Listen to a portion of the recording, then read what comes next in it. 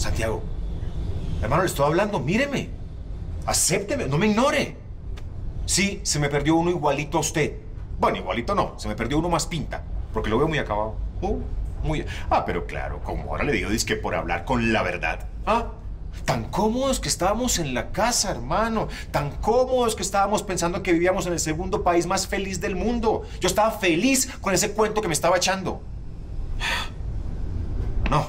No, uno conoce la verdad y ya no hay forma de echarse para atrás. No, no, y no se ponga ahí, ay, que no sé qué, que, pereza, no remilgue. No, no, porque usted siempre ha querido saber la verdad.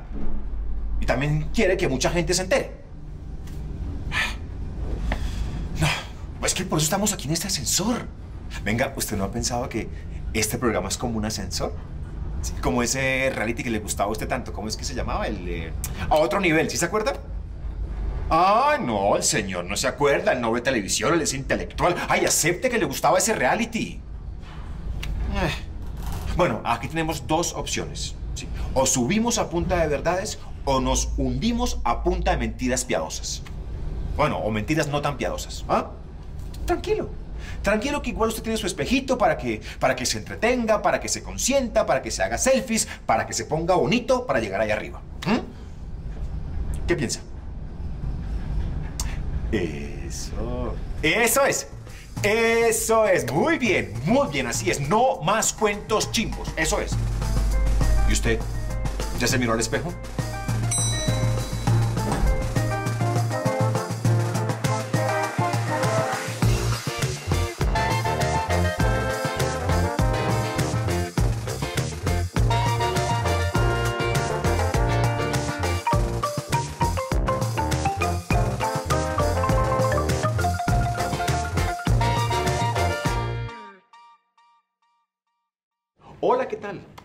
¿Qué tal? Hola, ¿qué tal?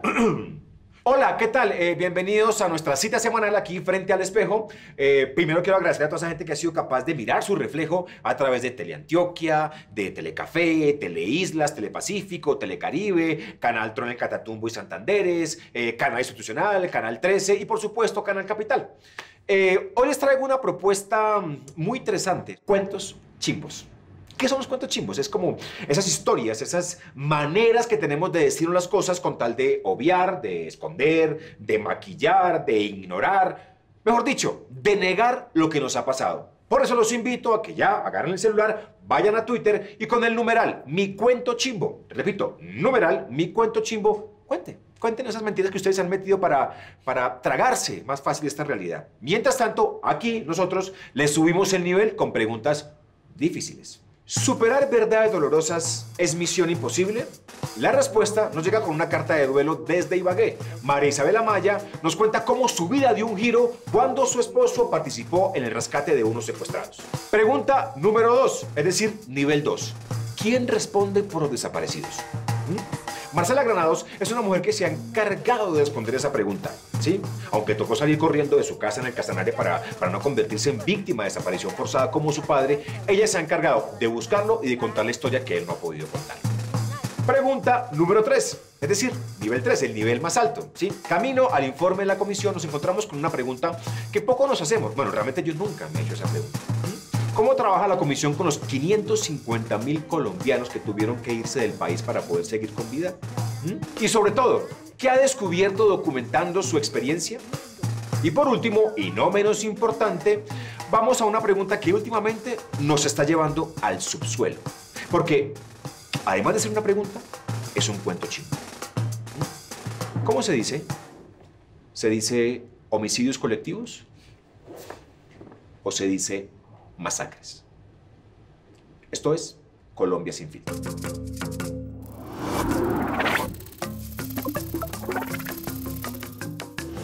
¿Sabe usted en qué se parecen Colombia y Colombia?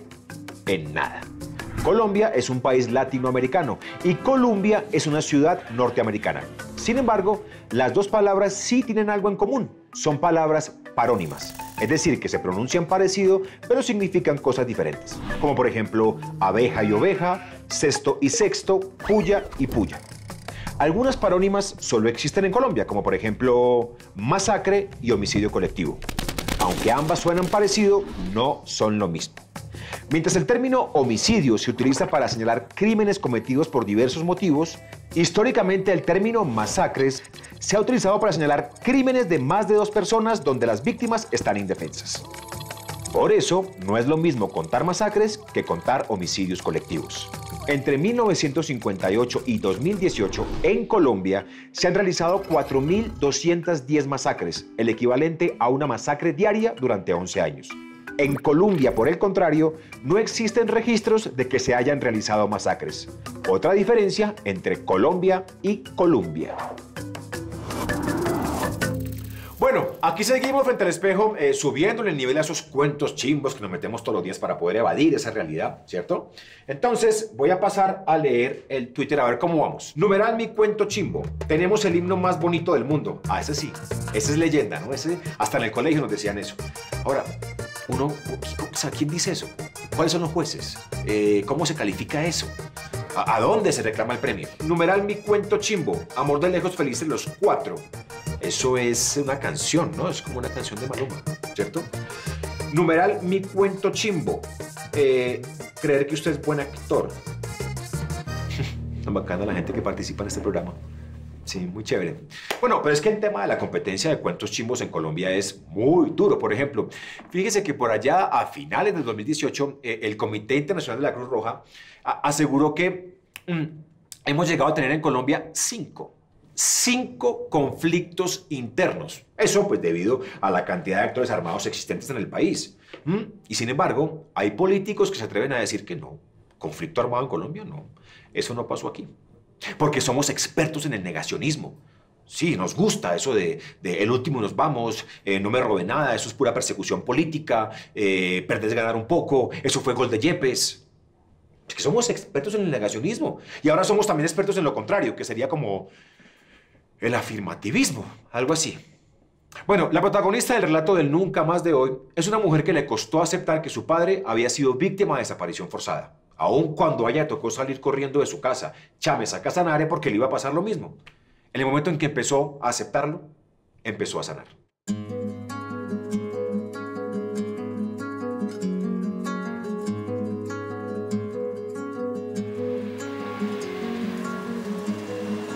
Mi nombre es Tania Rodríguez, estudié psicología y desde hace aproximadamente 11 años trabajo en el acompañamiento a familiares que tienen seres queridos desaparecidos y en el acompañamiento en el proceso de búsqueda. Esta es una pequeña huerta. Trato de aprovechar al máximo el espacio de mi casa pues para para tener parte de esa historia que, que, mis padres me enseñaron. Pues acá en Bogotá a veces es un poco difícil tener eso, pero procuro mantener esa memoria de la familia, del territorio, de, del Casanare. En el municipio de Chamesa, a noviembre 2002 y marzo del 2003, incursionan las autodefensas campesinas del Casanare y desaparecen aproximadamente entre Chamesa y Recetor, que son dos municipios con aproximadamente 4.000 habitantes, un número aproximado de 100 personas. Los grupos paramilitares se tomaron las escuelas como campamentos y allí empezaron a llamar a las familias, un poco para ganarse la confianza de ellas, pero cuando se dieron cuenta que una persona de esa familia no regresaba, entonces otra persona de la misma familia fue a buscarlo, tampoco regresó y así.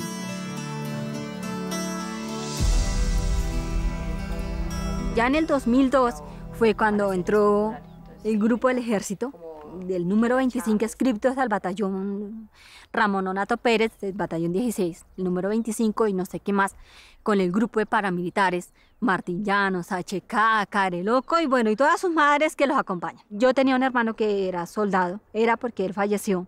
Era adscrito al, al, batallón 16 y él qué fue lo que hizo, sacar a sus hermanas y a sus sobrinas y eso, porque seguramente él sabía todo lo que iban a hacer en el pueblo y sabía que iban con los paramilitares y sabían que no iban a respetar ni viejo, ni anciano, ni niño, nadie. Y papá sí no se quiso ir de la Un señor de 60 años, arriesgaba, o sea, eso es su tierra, es todo, entonces no. Buenas, buenas. ¿Cómo estás? Bien, Marcelita, bella. Bienvenida. Gracias, mijita.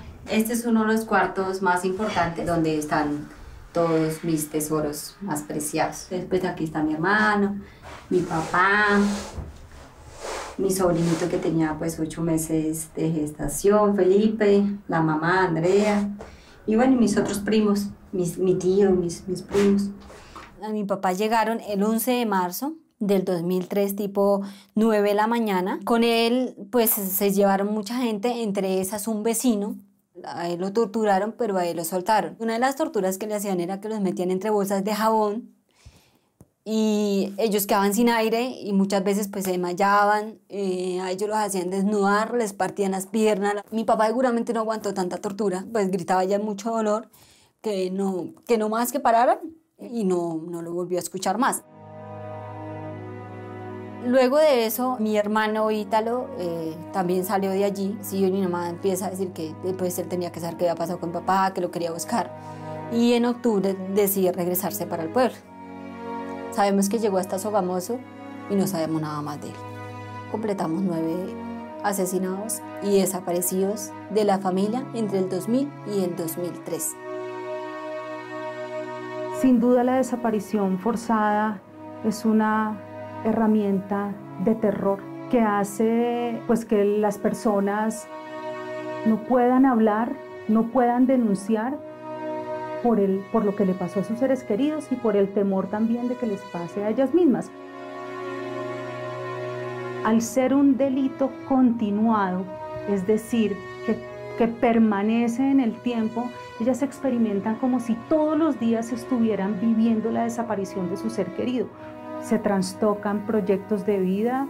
Marcela, por ejemplo, quizás nunca se imaginó que a la edad de 15 años estaría en Bogotá pensando cómo sobrevivir se alteran los roles al interior de la familia y claro, hay una ruptura muy fuerte en el tejido social, comunitario, confianzas fracturadas donde no se sabe si es posible confiar en el vecino y donde las familias empiezan además a experimentar estigmas muy fuertes que son sumamente dolorosos.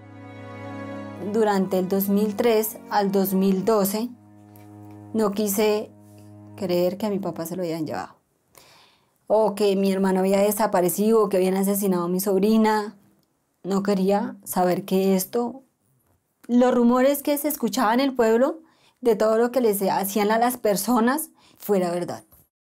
Y en el 2012, mi mamá ya estaba en una organización haciendo todo este trabajo. Mi mamá le tocó, digamos que, sola todo el tema de la búsqueda de mi papá. Mi mamá no sabe leer ni escribir. Entonces ya habíamos que píale papeles, píale papeles. Entonces yo dije, no, espérate. Y ahí es cuando yo entro al trabajo de búsqueda eh, y de aceptación también de, de, de, lo que había pasado. Se ha podido ir a buscar a mi papá estos últimos años, sin resultado alguno, porque no sabemos exactamente dónde fue que lo dejamos. Sabemos un terreno grande que posiblemente puede estar, pero no sabemos exactamente dónde fue que dejaron a mi papá, porque el terreno y el sitio donde, donde posiblemente puede estar mi papá es demasiado difícil para llegar. Adicional, solamente se puede ir una vez al año por las condiciones del terreno. Es decir, que todavía nos queda no sé cuántos años por saber en dónde están sus restos. Los familiares organizados eh, solicitaron a la mesa de conversaciones de La Habana cuando se estaba dando la negociación que en Colombia existiera un mecanismo dedicado exclusivamente a la búsqueda de las personas desaparecidas. Por eso es que la mesa crea la unidad de búsqueda de personas dadas por desaparecidas. Quiero ser profesionales en psicología y es porque pues quiero ayudar a la gente también así como a mí me han ayudado y esa profesión me parece pues muy bonita porque digamos que los psicólogos son los que nunca me han dejado sola en este proceso. Tenemos que saber la verdad de lo que ha pasado en Colombia desde hace años. sin eso yo no sé si vamos a poder seguir viviendo de la mejor manera. Si nosotros no tenemos una verdad de lo que pasa en Colombia, vamos a vivir siempre en una mentira y esto va a seguir repitiendo y repitiendo y repitiendo.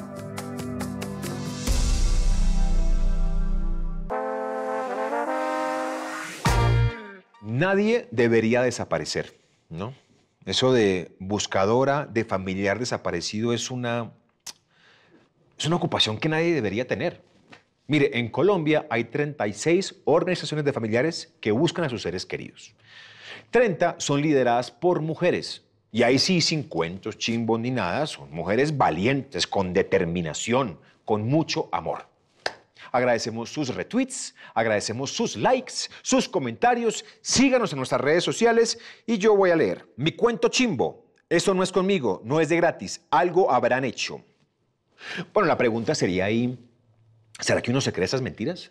Así como dice mamá, Santiago, eh, vos sos bobos, ¿qué te haces? Y uno a veces se hace el bobo. Entonces también uno, uno decide, pues, sí, qué cuento echar y también qué verdad quiere saber. Por ejemplo, muy pocos saben que entre 1970 y 2010 se registraron 39 mil víctimas de secuestro. A esa cifra habría que sumarle los familiares que sufrieron esperando la llegada de su ser querido.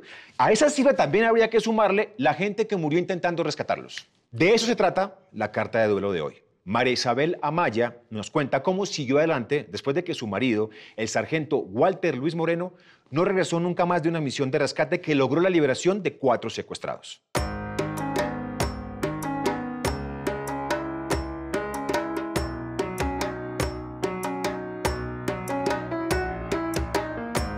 Mi nombre es María Isabel Sandoval Amaya, la esposa de quien en vida era el sargento mayor Walter Luis Moreno Arias, un militar que antes de ser soldado de la patria era un gran ser humano, al punto de entregar su vida por dar libertad a unos seres que por este absurdo conflicto la habían perdido. Mi amado Walter, hoy esos seres son libres se cumplió tu sueño de ser parte de su libertad y felicidad. Más de 10 años sin ti, con la responsabilidad cada día de que valga la pena este sacrificio. Hoy tu Sundi y tu Fabián son los hijos que querías darle a tu patria. Buenos seres humanos, dignos hijos nuestros, que día a día llevan tu legado con orgullo. En cuanto a mí, hoy soy una combinación de amor y dolor, con la misión también de esperar un día a tus nietos y contarles de tu historia, de lo grande que siempre serás. Padre Eterno, clamo a ti muchas bendiciones por todas las familias víctimas, que como la mía, hemos que tenido que vivir con esta herida en el alma.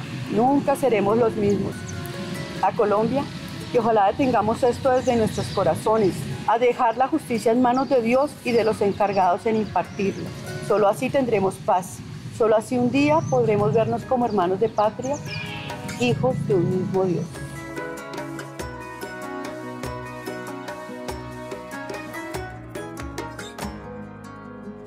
¿Qué tal? Aquí seguimos frente al espejo y si usted es de esas personas que se hace el de la vista gorda, que se hace el de las gafas, el que como que no es con usted, tranquilo. Aquí estamos para recordarle esas mentritas que usted se dice a veces y también estamos para ayudarle a subir lentamente el nivel.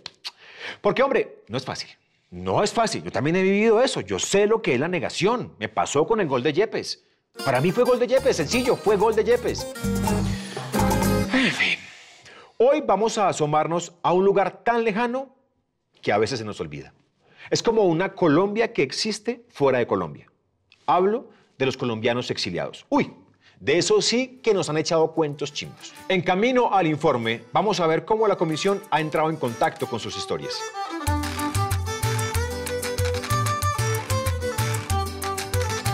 Yo soy Elizabeth García Carrillo, en mi lengua soy Atishei Karinguma.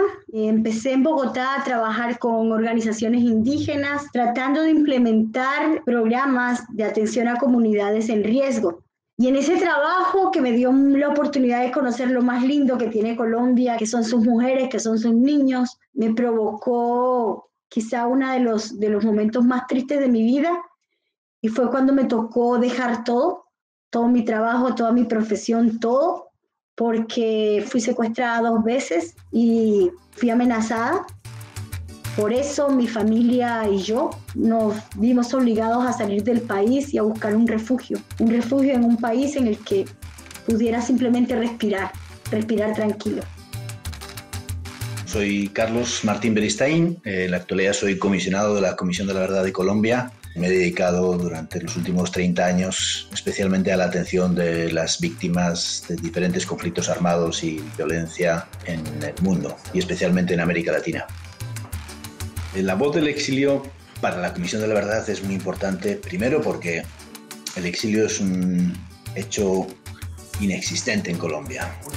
La experiencia de las víctimas es, invisible y el exilio en más de 20 países en el que estamos trabajando muestra una diversidad también de las formas de violencia sufridas en Colombia y ahí es muy importante que esta verdad que está fuera de Colombia se pueda poner en diálogo con lo que estamos haciendo también en la Colombia dentro de las fronteras. Y por otra parte, el exilio es muy importante también porque en esa invisibilización hay ideas muy distorsionadas sobre lo que eso significa. Se estigmatiza a la persona que tuvo que salir, por algo será, o se piensa que hay un exilio dorado, que la gente tuvo mejores condiciones de vida, un mejor futuro, y no se tiene en cuenta las consecuencias, los impactos que el propio exilio ha supuesto. Tú cuando llegas acarreas un peso muy grande y una tristeza enorme porque has tenido que dejar todo, porque no sabes qué vas a hacer, porque lo que te encuentras es incertidumbre porque te sientes perdido. Nada de este trabajo de la comisión se puede hacer sin poner las bases de la confianza. Y eso ha conllevado pues, tareas de pedagogía, muchas reuniones, talleres. Nosotros hemos puesto tres aspectos que unifican una visión compartida.